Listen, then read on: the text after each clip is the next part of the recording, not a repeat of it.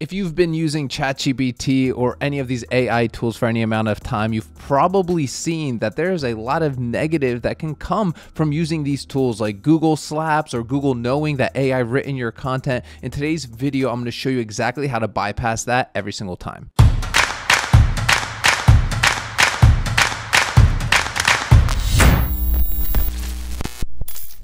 Hey, what's up, Empire Builders? Before we get into today's video, I want to tell you guys about an exciting advertising and ChatGPT class we have coming up on March 2nd and 3rd. You can click down below in the description of this video to grab one of your tickets. Our last ChatGPT class absolutely sold out, and we had such absolutely amazing feedback from this class that we're going to be hosting another one, but specifically only talking about advertising and AI. So, not just ChatGPT, plus all the other tools that we actually use to create advertising for our own eight figure company and are using these kind of tools to make real money in our online businesses. So if you're somebody that wants to learn more about this and you want to be on this live intensive for two days with our eight figure team, make sure to click the link down below. Without further ado, let's get back into today's video. Now, those of you tuning into the e-commerce empire builders for the first time, I want to give you a huge welcome. Every single Monday, Wednesday, Friday, we release new content just like this. So if you want to stay up to date, make sure to hit that like button, that subscribe button, and that notification bell as well. Also, one lucky commenter down below on today's video is going to win $50 directly to their PayPal account. So if you want to be entered into win, drop a comment and make sure to hit the notification bell so you can tune into the next video to see if you won that free cash. But guys, today we're talking about a common problem with ChatGPT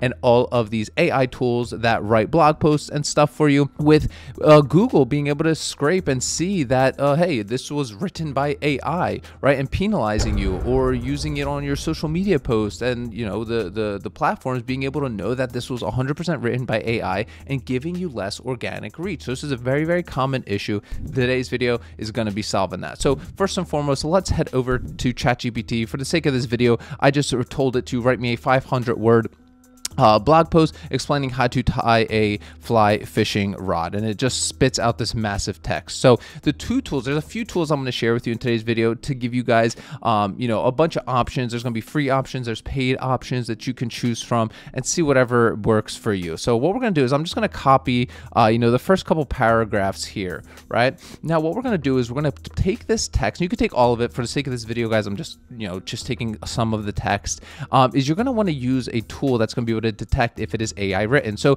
this is a really nice one. It's called writer.com, and then you'll be able to see it if you need the exact address. It's writer.com slash AI dash content dash detector. Um, and right here, very simply, you can paste this in and then click analyze. Okay. So right from here, it's saying 3% human human generated uh, content, right? Now, if you want to use this tool for longer posts, you will need to sign up for a paid tool. Uh, there are other tools like this one right here. Uh, it's called uh, uh Giant Language Model Test Room. Uh, a little bit more advanced. It's based on GPT-2, but for, from what I've seen, you can use it to analyze uh, uh, text as well. So, for example, if we paste that in here and the, the, the address is gltr.io, gltr.io will get you there and you can click analyze and it'll basically tell you uh, what's AI, what it thinks is AI, what it's not. And the, from what I understand, guys, how this is working is it's doing predictability. Like, you know, would the next word be something that somebody said? Um, honestly, you can go really down the rabbit hole on this tool. What I like to do is just click this frac P1 and green is AI and white is uh, human generated. Um, and so you want to see kind of like more white than just all green right here. Okay.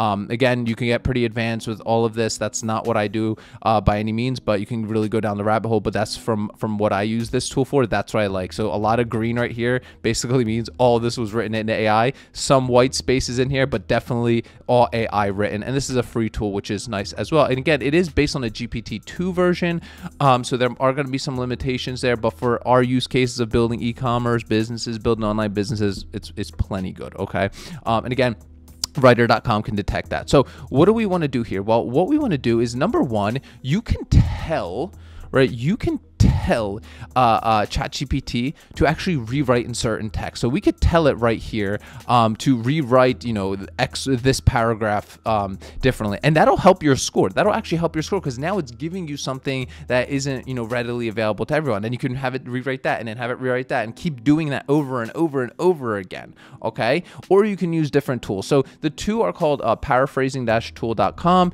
and then the other one is called Quillbot.com. It's I believe it's owned by Paraphrasing Tool.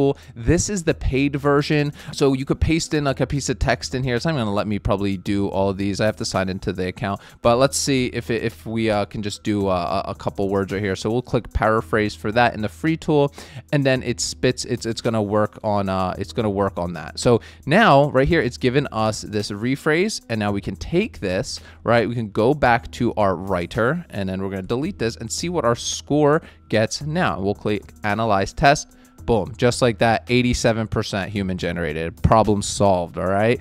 Um, do i have a, a, a, a, magic number here that i can tell you about? Uh, no. Uh, i don't know I, I don't have that exact number but i can tell you anything above like 80% you're pretty much gonna gonna be good. If you are on a budget and you don't want to pay for like a quillbot again you can put in short uh, bursts of text in here. Um, but here's something else that you can do. Um, and this is kind of like the uh, the bootstrapped entrepreneur's way of doing it is going to paraphrasing dash tool and click basic paraphrase. It'll spit that out.